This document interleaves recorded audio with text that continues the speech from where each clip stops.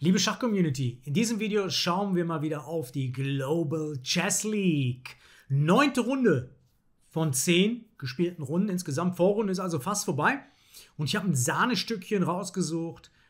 Richard Rapport gegen Padam Maxotlo. Bedenkzeit 20 plus 0, ihr wisst es. Wir gehen direkt rein. Und Richard Rapport spielt in dieser Partie meine Variante. E4, C5, Springer F3, D6, Sizilianisch. Und jetzt Läufer C4. Das wird in den letzten ein, zwei Jahren immer wieder mal gespielt, auch von Top-Leuten. Das ist eine gute Waffe. Ich habe ja meinen Kurs rausgebracht auf Modern Chess von Niklas Huschenbeet. Das war Anfang des Jahres. Nicht auf Chess, sondern auf Modern Chess. Das wird immer wieder verwechselt auch. Ähm, und da war komplettes Repertoire gegen erstens, mit erstens E4, Bulletproof Repertoire mit Big Greek und da habe ich Läufer C4 propagiert gegen Sizilianisch mit D6, zweitens D6. Das ist natürlich eine wichtige Hauptvariante hier. Und Läufer C4 kann man sehr gut spielen, nach italienisch-spanischen Vorbildern. Entstehen häufig die Strukturen mit Rochade, Turm E1, C3, D3, D4, solche Geschichten. Hängt natürlich auch so ein bisschen davon ab, wie Schwarz sich aufstellt. So, erstmal geht es weiter mit Springer F6 hier, D3. Ich habe das übrigens auch gegen Padam Maxotlo gespielt, letztes Jahr bei der Team Rapid Wam mit Läufer C4. Habe einen richtig auf den Deckel bekommen damals. Lag aber nicht in der Eröffnung. A6, man kann hier vieles machen mit Schwarz. Springer C6, G6, A6 mit der Idee B5, ja. Rapport verhindert das hier mit A, A4. Springer C6, Entwicklung, Rochade, Entwicklung, H6. H6 verstehe ich hier nicht. Ich weiß nicht, warum er H6 hier macht.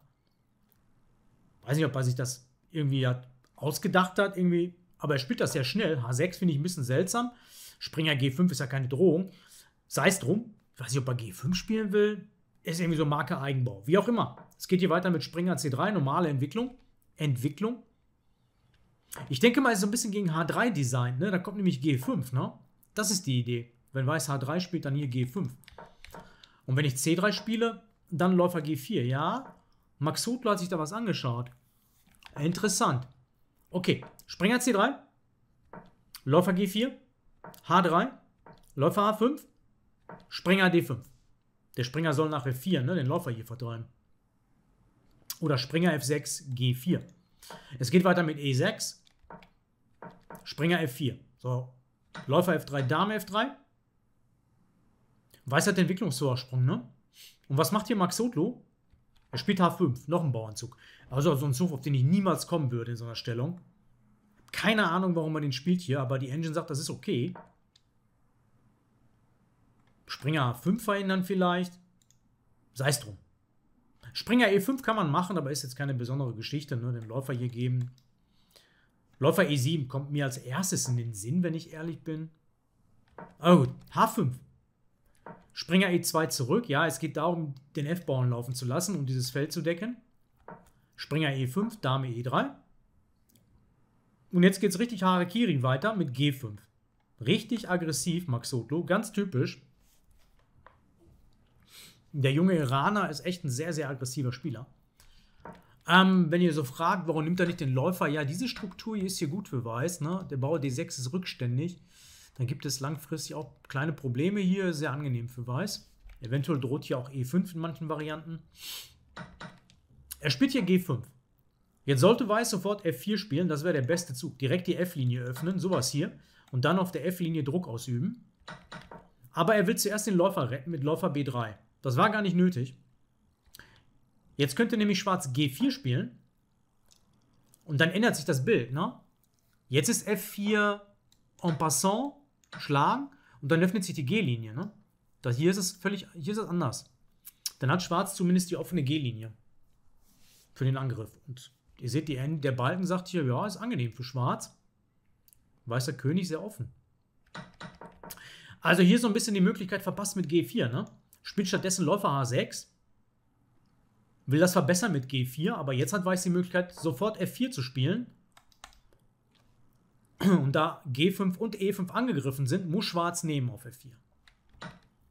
Weiß nimmt. Jetzt ist die G-Linie nicht offen, ne? Das ist ein Riesenunterschied. Und jetzt ist die F-Linie offen für Weiß. Gut für Weiß. Geht weiter mit H4. Viel zu langsam gespielt. Schwarz vernachlässigt sträflich die Entwicklung. Ich weiß auch nicht, warum er hier H4 spielt. Vielleicht will er Springer H5 spielen hier, ne? So auf auf doof hier eine Qualität gewinnen. Aber er musste langsam aber sicher mal die Dame ins Spiel, sowas wie Dame E7 und lange Rochade anstreben. Sei es drum. H4. Dame F2. Macht Druck auf der F-Linie. Klar, die Dame musste weg. Ne? Es droht hier Springer H5. Habe ich schon eingezeichnet.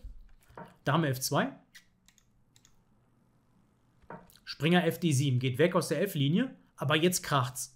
Läufer E6. Schwupp. Nimm, nimm. Zwei Bauern für die Figur. Und der Springer hier ist wie eine Krake. Ja, die Dame muss das Feld C7 decken, deswegen Dame B6. A5, Dame C6. Und jetzt C3. In aller Ruhe. Da haben wir alle Zeit der Welt. Keine Eile. So, Springer D3 geht nicht wegen Schachmatt. Turm C8, D4, Schnapp, Schnapp, Dame C4, Dame F5, ja, die, der Springer ist angegriffen. Dame F5 greift gleich den an. Springer F8 zurück. Ja, was ist mit Läufer C1 hier? Dann kommt DE5, ne? Mhm. Dann droht Dame F7 matt und dann hängt auch der. Deswegen Springer F8. Dame H5 Schach. Springer EG6. Blockt das Schach, aber jetzt kommt wunderschön Turm F8. Turm Läufer F8. Dame schlicht G6, König D7, D5. Weiß hat jetzt auch keinen materiellen Nachteil mehr. Der Springer ist ultra dominant hier. Und Schwarz gehen so ein bisschen die Züge aus. Läufer E7, eventuell den hier. Dame F5 droht Abzug. König E8, E8 zurück. Ja, was soll er machen? Ne? Er hätte vielleicht die Dame opfern können hier. Aber trotzdem ist er immer noch gewonnen ne, hier. Springer F8, König B8, Springer G6. Feierabend, ne? So, so, so, so. Also Weiß gewinnt so oder so Material, ne? Durch diesen Springerabzug. Deswegen geht er weg. Läufer G5, einfache Entwicklung. Schnapp, schnapp. Dame E4. Turm F1. Und jetzt äh, hat Schwarz keine Züge mehr. Der König hat nur das Feld hier, aber das ist direkt matt. Und sonst kann der König nicht ziehen. Und es droht einfach Springer G7 hier. Springer G7, König dahin und dann Turm F7 matt. Droht hier. Und dagegen gibt es keine Verteidigung, ne? Mm. Max Soto spielt dann noch irgendwas, Turm C2 und ließ sich matt setzen hier mit ja, ja, das, das ist das äh, hier, ne? Da kann er da rauslaufen, aber das ist leider hier matt. Dame D8. Das bringt mich auf die Idee, was passiert, wenn der Turm hier hinzieht? Na, dann ist er ganz weg. Äh, sagen wir Turm B8. Springer G7, König D7, hier König C8, aber dann ist Dame C1 matt. Ja, man kann die Dame noch dazwischen stellen, aber. Und wenn der Turm hier hingeht, ist auch Springer G7 matt. Auch das hier, ne? Ja, ja. Es ist immer matt, egal was Schwarz gemacht hätte. Eine sehr schöne Partie von Rapport, muss ich sagen. Sehr, sehr stringent. Total locker das Ding nach Hause gefahren. Die Fehler von Max Hutlu wunderschön ausgenutzt.